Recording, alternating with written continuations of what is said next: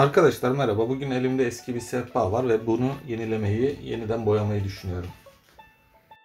Gördüğünüz gibi boyası kötü durumda ve bazı izler, bazı çizikler, bazı girinti çıkıntılar mevcut sehpanın yüzeyinde.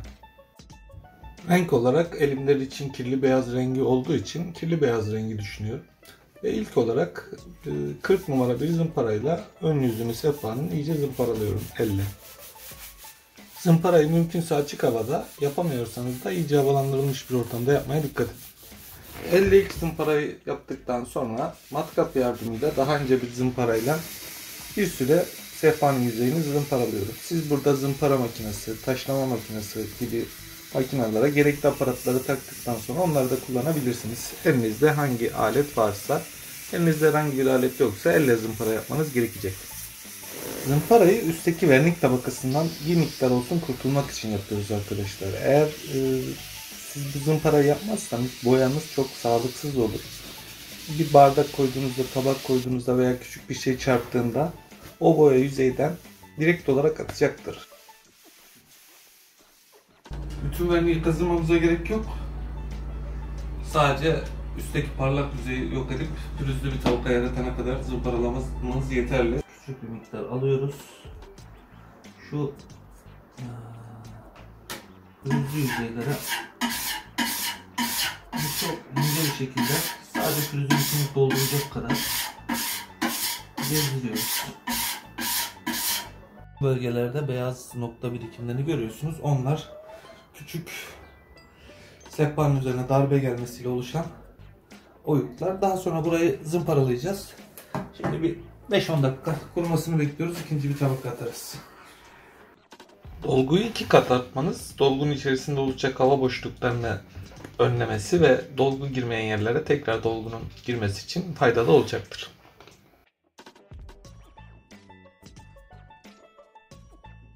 Arkadaşlar bu çekmecelerimiz var zımparamızda. Buraları hiç zımparalamayacağız. Buralar boyamız zaten bu parayı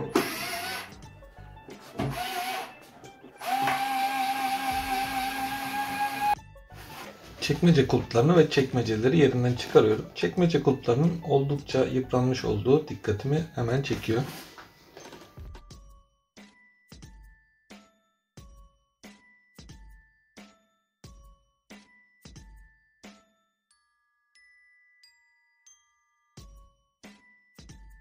İnternette, YouTube'da zımpara yapmadan boya yapıldığına dair bazı videolar görüyorum.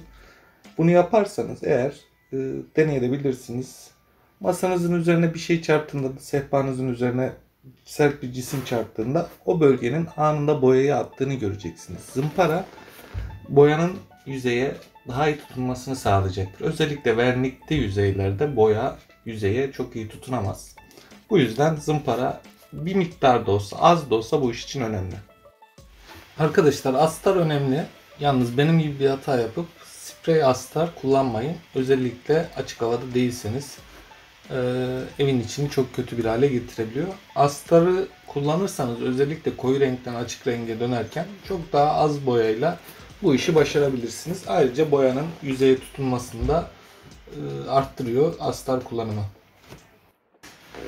Boyayı yaparken özellikle akrilik boyaları yapmak çok zor bir iş değil. Çok büyük bir beceri veya tecrübe istemiyor. Ancak kadife rulo fırça kullanmaya dikkat ediyoruz.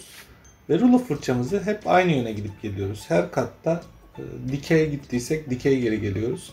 Yani bir o tarafa bir bu tarafa şeklinde rulo fırçayla gidip gelmiyoruz. Hep aynı yöne gidip geliyoruz.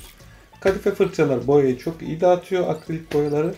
Ve yüzeyde de güzel bir pürüz hissi yaratıyor. Katlar arasında kullandığımız boyaya göre değişik zamanlarda bekleyebiliyoruz. Tabii bunun en iyisi bir kattan sonra atıyorum bir gün beklemek ama böyle bir vaktiniz yoksa birkaç saat içinde de boya tamamıyla kuruyabilir. Özellikle çok kalın katmanlar vurmuyorsanız birkaç saat bekleyip süre ikinci kata, üçüncü kata geçebiliriz. Çekmeceleri tavsiye etmediğim yöntem olan zımparasız ve astarsız yöntemle boyuyorum. Çünkü fazla kullanılmayacak. Ancak 5-6 kat, en az 5-6 kat boyatmamız gerekecek. Arkadaşlar sehpanın boyanmış ve renksiz halini görüyorsunuz. Gördüğünüz gibi çok güzel, e, çok pürüzsüz bir duruşu var.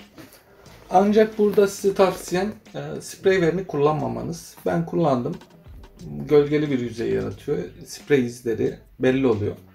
Bu yüzden fırçayla vernik kullanırsanız daha iyi bir sonuç elde edebilirsiniz.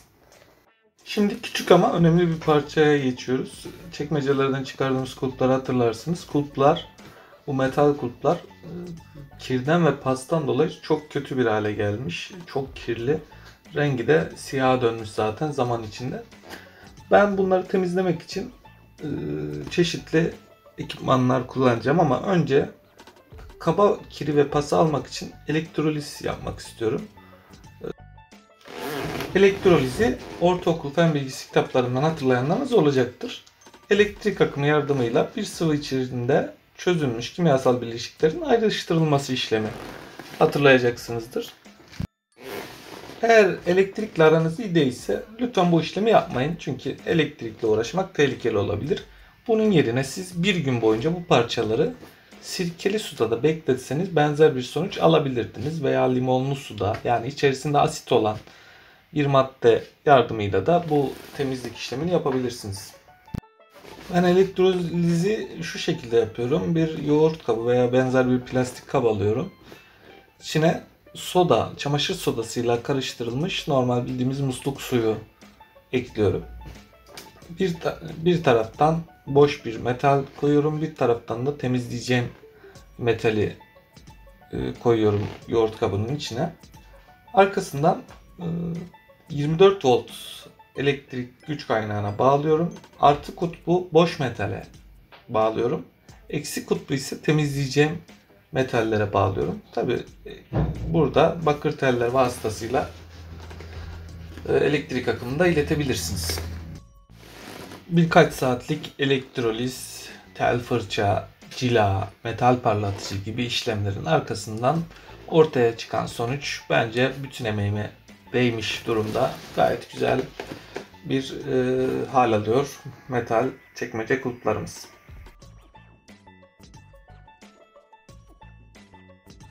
Çekmeceleri ve kulplara da monte ettikten sonra sehpa boyama çalışmamız tamamlanmış oluyor.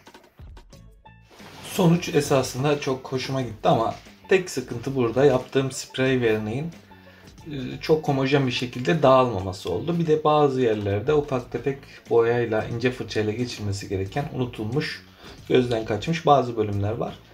Oraları düzelteceğim ve tekrar bir vernik işleminden sonra mükemmel bir sehpaya kavuşmuş olacağım.